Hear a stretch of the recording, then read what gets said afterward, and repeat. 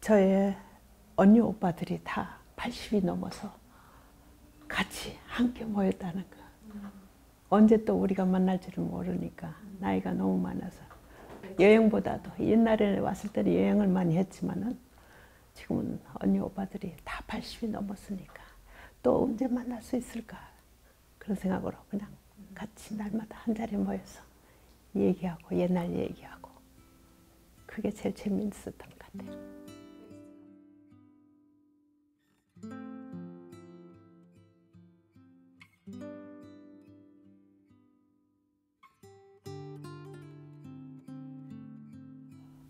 항상 한국에 오면 너무 많이 변해서 어디가 어딘지를 모르고 내가 옛날에 다녔던 학교도 못 찾았어요.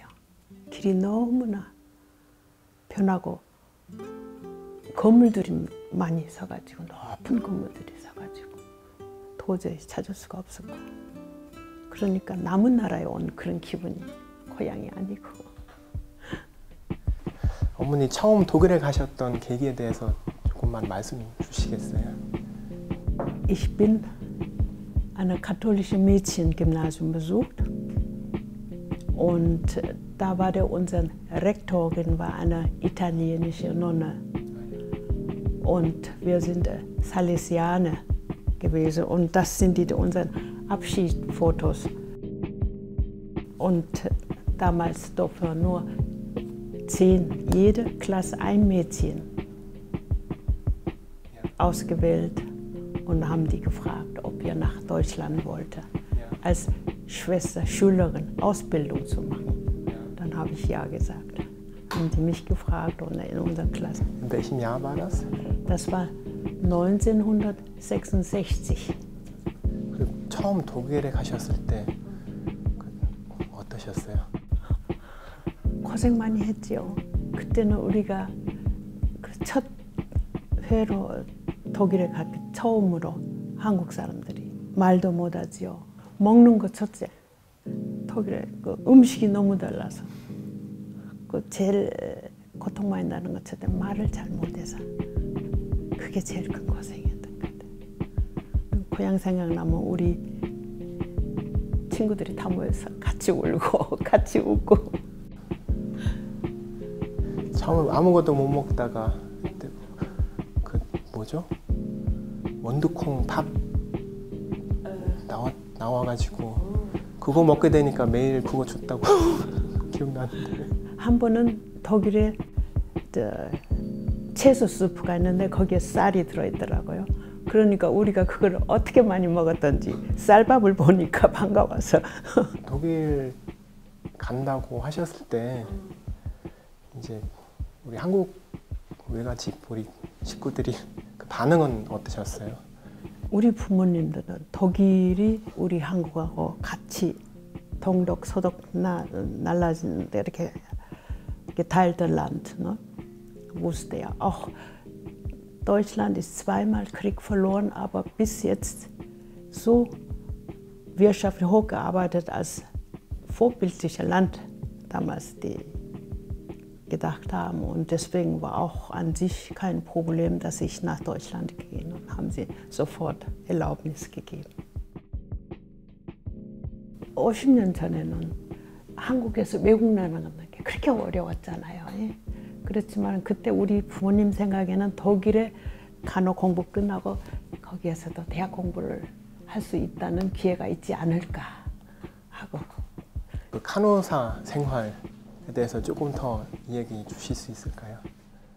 독일 간호사 생활에 우리 처음에 가서 8개월간 병원에서 일하면서 독일어 공부해가지고 8개월 후에 이제 공부가 시작돼가지고 3년 안에 우리 간호 자격증을 독일에서 따고 우리 한국 사람 간호원이 왔을 때는 조금 평이 좋았어요. 여기 우리가 저기 산프트하고 막 배려가 많고 배려 많고 막그 친절하니까 친절하고 그러니까 평이 대단히 좋았어요. 그때 독일 간호는 좀 무뚝뚝하고 그러니까 근데 그, 그 당시 독일도 그렇게 이제 같아서는 이제 이민 국가인 거는 사람들이 인정을 하는데 그 당시는 달랐잖아요. 그래서 독일 사람한테 받은 대우가 어떠셨어요? 동양인이라 가난한 나라에서 왔다 그런 äh, 뭐랄까 solcher Gefühl vermitteln ja, aber so unterschiedlich, also muss man sagen,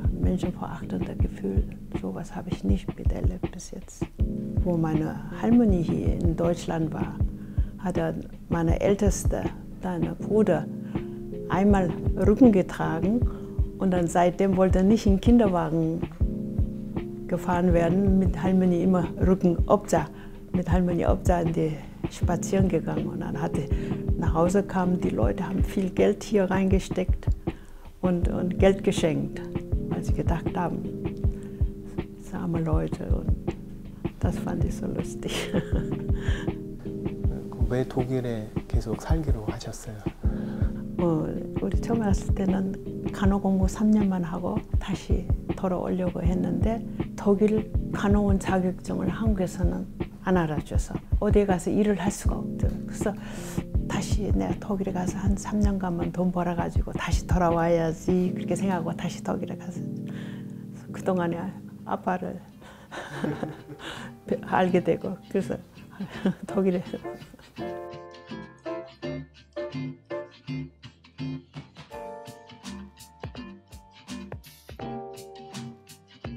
Magst du mal etwas mehr erzählen, wie du Papa kennengelernt hast? Papa kennengelernt habe ich im Krankenhaus. Papa hatte ja vor, Medizin zu studieren und da musste er sechs Wochen Praktikum machen. Und, und er landete in meine Station. Und da war ich ja auch zweite Schichtführerin. Und dann habe ich ihm auch alles gezeigt, als Praktikanten, was da alles lernen müsste. Und da haben wir uns näher gekommen. Hast du einen jungen Praktikanten verführt? Nein?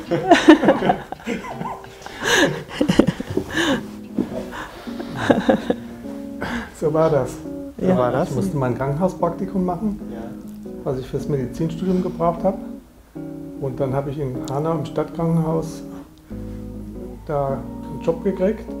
Und da haben wir uns dann kennengelernt. Ja, Und ist das so peu à peu dann. Step by Step sozusagen ist das vorangegangen. Was war der Grund, dass du Papa ins, äh, sozusagen ins Auge genommen hast? Das Grund, dass er wirklich äh, um den Patienten wieder umgegangen ist. Dass er wirklich lieb und, und nett und das fand ich sehr schön. Und unsere Stationsschwester hat mir gesagt, der Herr Tendler wird ein guter Arzt, du musst ihm alles zeigen. Habe ich Ja, alles doch alles gezeigt.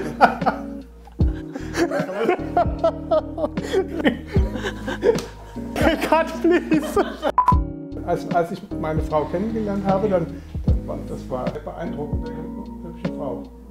Ich habe dann noch zwei, drei Mal äh, Krankenpflegepraktikum gemacht und dadurch sind wir uns immer näher gekommen.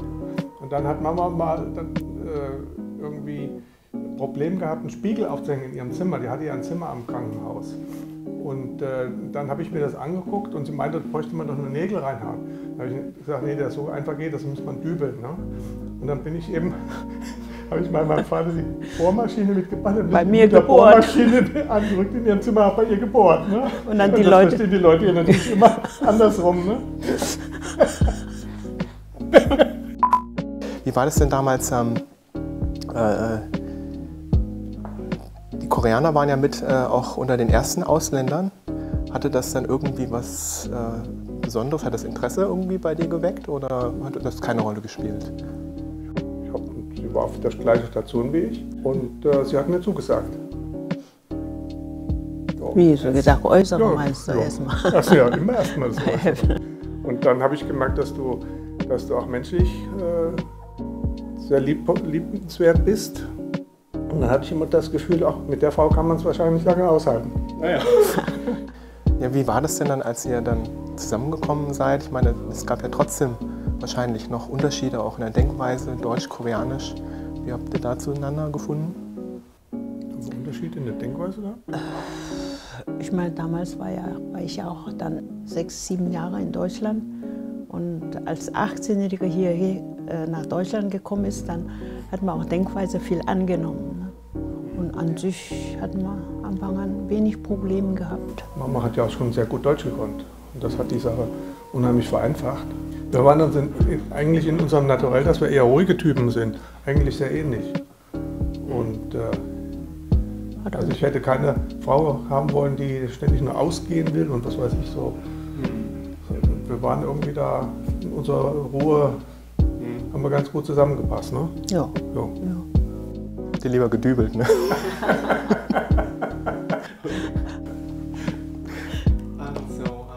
Hast du irgendwann mal nicht den Wunsch gehabt, wieder nach Korea zu kommen, vielleicht mit der ganzen Familie? Oder war das nie in deiner Gedankenwelt? Das ist so, wenn ich jedes Mal nach Korea gekommen bin, weil ich nicht zurechtgefunden habe. An sich, die Wünsche habe ich an sich nie gehabt. Weil so die Veränderung kam ich nicht mit, mit meiner. Äh das ging ja wahnsinnig schnell. Ja, was weil sich das in Korea entwickelt hat und diese schnelle Entwicklung.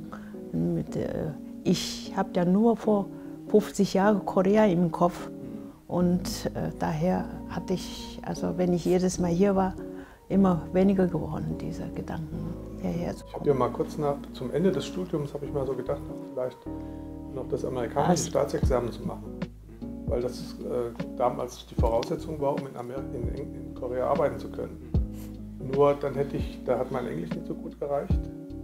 Im Und ich hätte dann Koreanisch auch erstmal lernen müssen und das war mir dann doch zu, zu schwierig. Und ich dann damals Mal- das, das, das koreanische Schulsystem, das hat mir gar nicht gefallen. Das Ja, für wollte ich euch. nicht antun.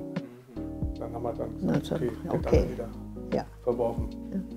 Ähm, wie war es denn dann für dich, dass ich da nach Korea gekommen bin? So umgekehrt.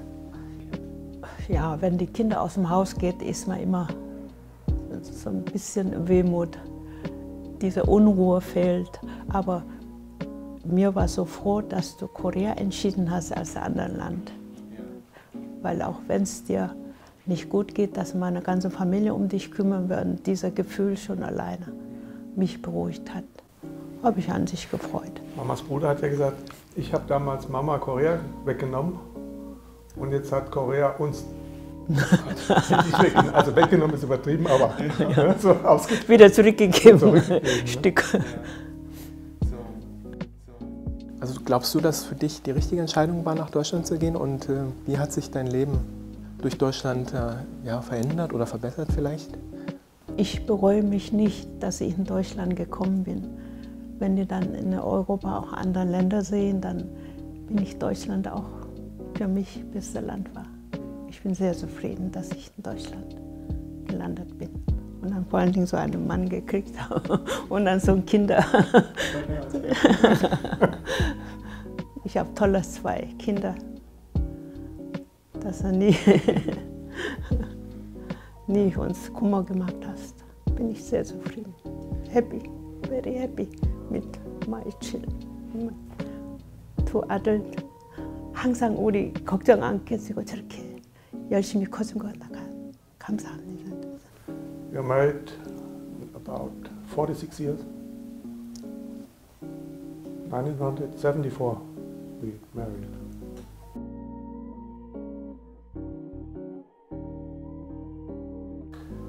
Na, zum Abrunden, möchtet ihr noch irgendwas nochmal sagen, erzählen? Als, als äh, Mama sind wir glücklich, wenn unsere Kinder glücklich sind. Mehr wünschen wir. Und Gesundheit. So ist das ja. Ich schließe mich meiner Frau an. es, gibt, es gibt einen, das hat ein, äh, ein amerikanischer Austauschschüler mal mitgebracht. Das ist nicht mal so gut. Das war so ein, so ein, ein äh, äh, Hufeisen. Und da stand dann drauf, In this house I am the boss and I have the permission of my wife to say so.